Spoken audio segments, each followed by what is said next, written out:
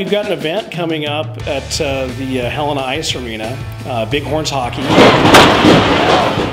It's, it's a big deal for Helena to have a semi-pro team.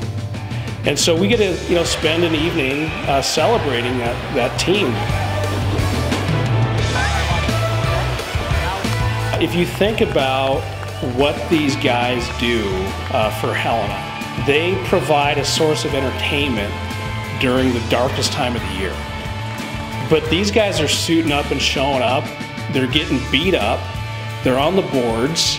You know, they're taking hits. You know, they're scoring goals. They're entertaining, you know, Helena like a bunch of gladiators.